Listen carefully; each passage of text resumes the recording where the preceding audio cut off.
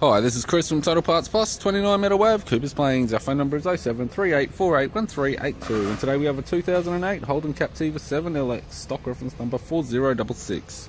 This shape runs from the 9th month 2006 through the 2nd month 2011. It has a 3.2 litre V6 petrol engine backed by an automatic all-wheel drive transmission.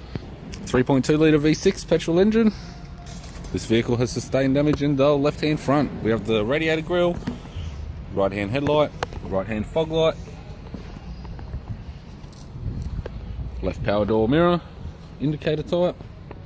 Left rear door has a couple of small dents. Left rear, 18 inch factory alloy mag with a good tyre. We have the left tail light. It's got a tidy rear bumper cover, park sensor type. Factory fitted tow bar supplied with all bolts, brackets, loom and module. Tailgate has two small dents. Right hand tail light. Right rear, 18 inch factory alloy mag with a good tyre. Right rear door has three small dents. Right front door appears to have no damage. Right power door mirror indicator type. Right guard has one small dent and a right front 18 inch factory alloy mag with a good tyre. We have the driver's side door trim, power window master switch. This vehicle's fitted with black leather interior. It's got a black leather center console lid.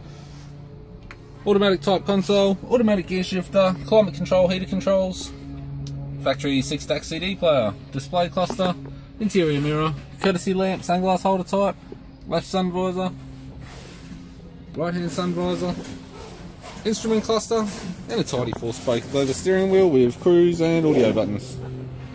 I'm Chris from Total Plus and I'd like to thank you for watching this video.